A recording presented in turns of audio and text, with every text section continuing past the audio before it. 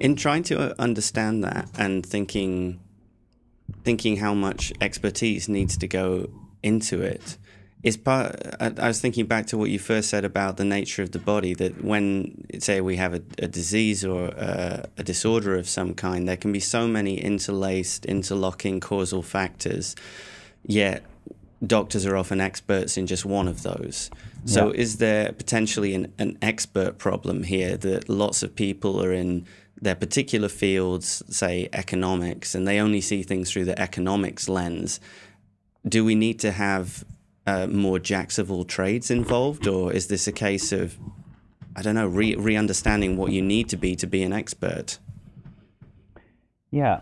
Um, so an expert in a complicated system. See, one of the things about a complicated system is you can break it apart into parts and understand the parts in isolation, put it back together, and you don't have um, the same kinds of synergies that you have in complex self-organizing systems. So no one has to understand every part of the computer because we can take it apart and put a new CPU in, put a new hard drive in.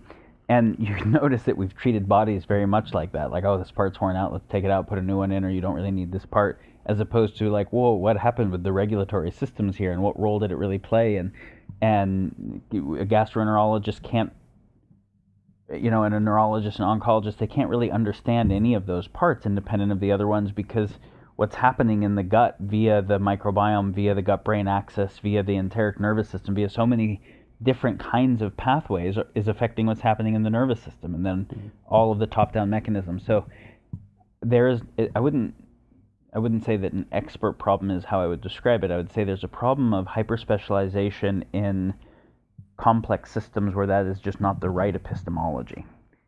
And uh, Alfred North Whitehead wrote this great paper some decades ago called the the problem of uh, overspecialization. He said, notice how we uh, the smarter a kid is, the earlier we start moving them into specialization and we move them further and further into specialization so that by the time they do their PhD, there's a few people in the world that really understand their dissertation, and they have relatively little um, abstraction across domains, lateral thinking into other spaces, etc., because they're supposed to be able to do a good job of that specialized expertise. And of course, we know there were benefits of specialization, but uh, I think then there were real problems with it.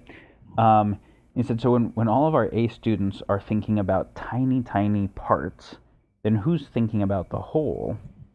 And so we are leaving to people who didn't, you know, excel that well to think about it, or just nobody at all, and it is just a complex kind of system, but it's not necessarily the one that we want or that works effectively. So uh, I wouldn't say what we want is jack of all trades. That's kind of a false dichotomy. I would say people who are studying complex systems and who are studying systems at all and who are studying deeper level generalized principles and things like design that are cross applicable so that they um, can so that they really have the right epistemology to understand the systems that they're looking at and to work with them uh, yes, I think that's critical. And I think it's been critical for a while, but especially in the face of um, machine learning.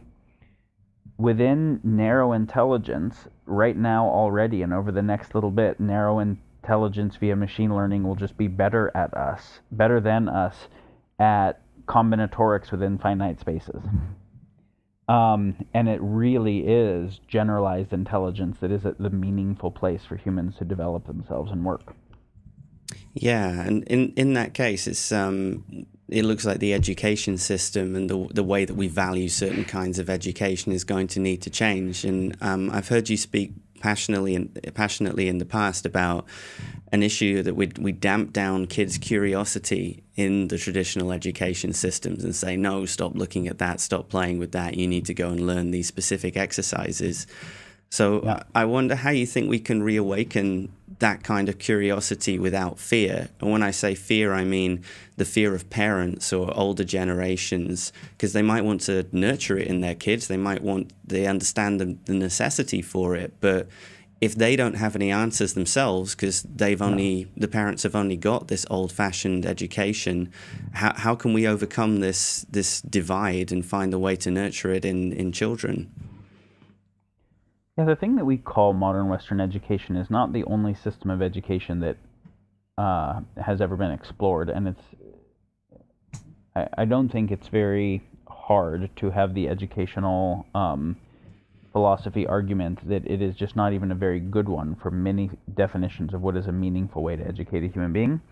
Um, but when you look at kind of the history of how it came about and things like we need, you know, the, the movement into uh, an industrial revolution where we needed people, we needed a lot of people to get trained to fulfill roles within the industrial revolution um, that were pretty fungible, right? Factory line workers were pretty fun, like any of them could do basically what any of the other ones could do.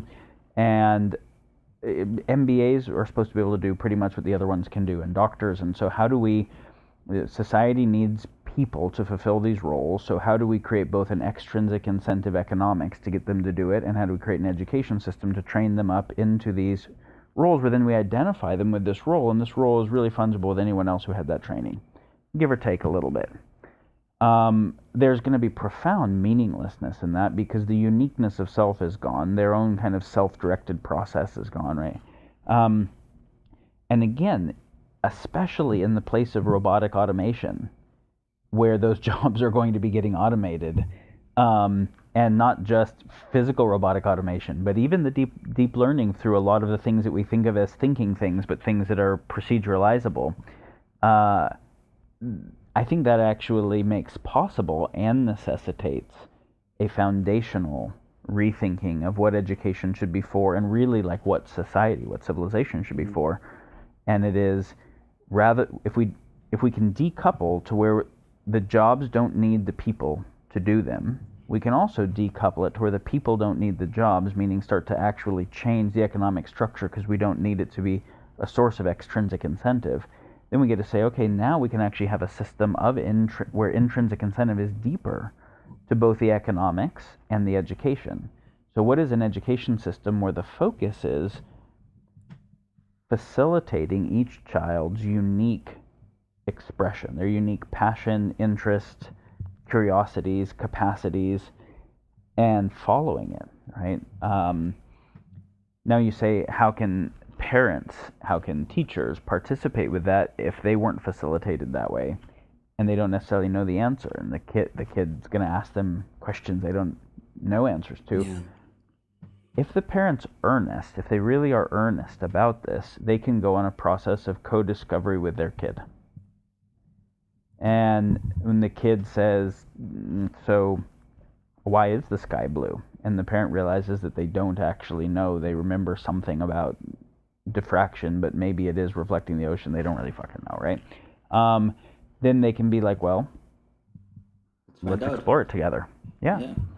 And then rather than push for that exploration to go in the way that they're interested in, pay attention to the kids' interest and ask them, like, find out why they're interested in it and what their what their intuition about it is, what their thought is, and help help go through the process of helping them learn how to learn and facilitating their interest in life and letting their interest in life and their learning reignite the adults also.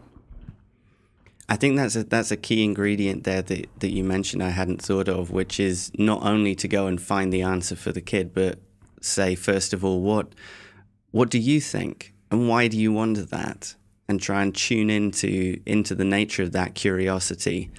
But it's the the dynamic that I often see, and I even feel it myself, is a sort of sense, a little bit of shame and fear. If someone asks mm-hmm. me a question, I feel I ought to know the answer to, and so mm-hmm. it's a, kind of a conversation too about putting aside our own ego and need to appear a certain way in front of others. Well, there's a there's a few fun things here. So let's first address the part about um, asking the kid why they're interested. So the kid asks why the sky is blue maybe that was the question they asked in the moment, but they're just really curious about why any color has color. Hmm. And they could just as easily ask, why is the leaf green? And they really just want to know what color is, right? And, or they're really asking kind of a question about um, God and existential things about like why did the creator make it that way? Because that's the way they're thinking about it. And so they there's a they're thinking about things like why is anything the way that it is? Or they're asking a question about why is it that we subjectively experience it as blue? And does that relate to what is objectively true? And do we all experience it the same way? If you don't know you're going to go into answering it the way you think they're asking it and then you're going to find them get bored pretty quickly and then you're going to get frustrated and try and get them to pay attention mm.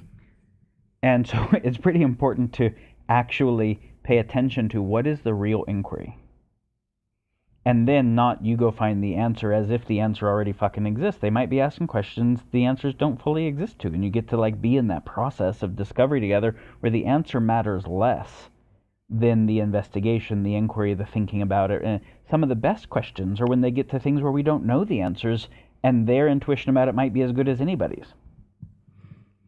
Yeah, that's the the whole. the, I guess the the stereotype, the picture of the from the mouths of babes thing, where you, you start seeing the world from a new angle just because somebody is asking a question which is unencumbered by years of cultural conditioning. Yeah, and you know, if we're asking about so what's fundamentally real? Is consciousness real and this is all arising in my consciousness? Is is matter fundamentally real and my consciousness is an epiphenomenon of neural networks? If, if we ask a question where we where the real answer right now is we don't fucking know. Those are the best thinkers in the world. Vehemently disagree on this. Um, then it's a place where you get to actually have a dialogue with them really on equal footing because you actually can't even though you can tell a whole history of western philosophy and eastern philosophy on it you, that still just brings you to I, I just told you a whole lot of things about why i don't know. Um, and so if you can come back to the like fascination and the interest you you're in the same place as them and they do have they are touching it for the first time in different ways how do you think we can get to to, to tackle the other point that uh, i mentioned is how do you think we can get to the point where we're not worrying about admitting our ignorance maybe it's not yeah. such a big deal to a child but i think that we in in the west loosely speaking it's it's seen as largely not okay to admit, oh, I don't know, even though I feel that I should. Yeah, so I mean, you can see uh, what a great tool to control other people that is. yes. And you can see how little real freedom you have and how little real ability for peace or intimacy or honesty with other people you have while that bullshit's running in you. Now, let's step back and think about it like this for a minute. Let's think about the field of the knowable and the field of the unknowable as ontologic categories. Well, let's think of them as epistemologic categories for a minute. Can you explain so, to our audience what the difference is? Yeah, so ontology is in philosophy the uh, the inquiry into the study of what is fundamentally real, what exists. And epistemology is how do we know? Like, do we think this exists because we're measuring it and all getting the same thing, because we're experiencing it, because we're intuiting it, because we're doing math? Like, what is the what is the right process of coming to believe anything that we might believe? And so there's this deep relationship between what we think is real and how we think about anything. Um, and so those are some some of the deep categories in philosophy. So let's think about the knowable stuff and the unknowable stuff. Now, Heisenberg set a limit on knowability at the quantum mechanical level, right? Said the position and the momentum of a quantum particle are not simultaneously knowable. And here's the big deal it wasn't an epistemologic limit.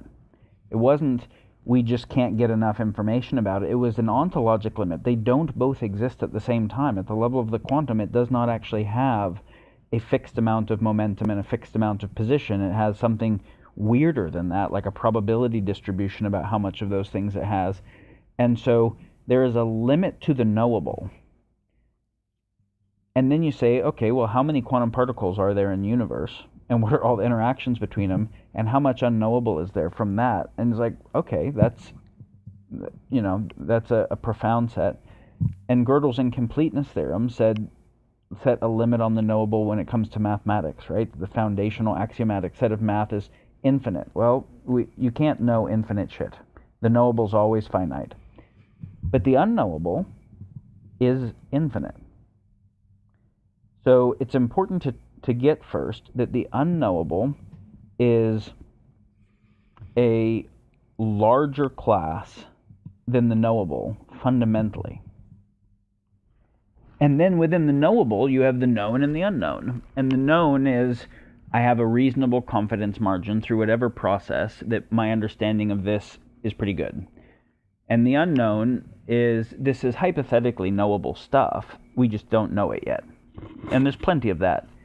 Within that, the unknown is also a larger class than the known is within the knowable. Now, why, why am I specifying this? I'm specifying it because if I think that I should know most things, then I actually just don't know the deepest things about the nature of knowability itself. And so that idea, like, oh, someone asked me something I don't know, there's something wrong with me, like to just realize how ridiculous that fucking thought is. yeah, and it's oh, and, you go.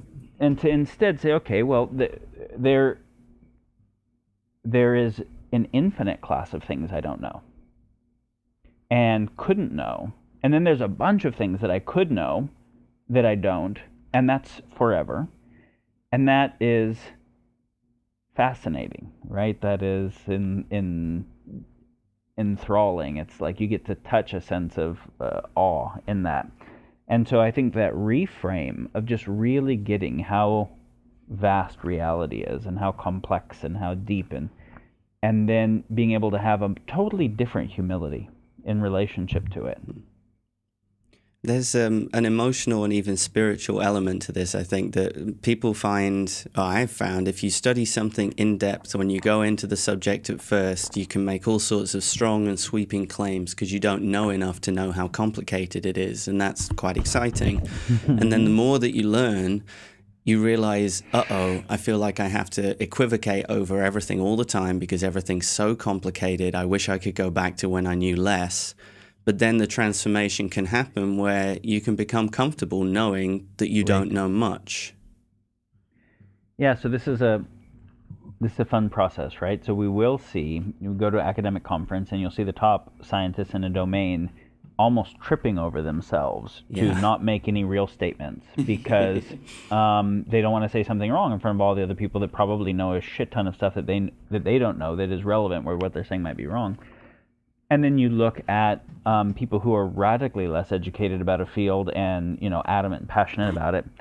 So now I, I basically I shared half of the story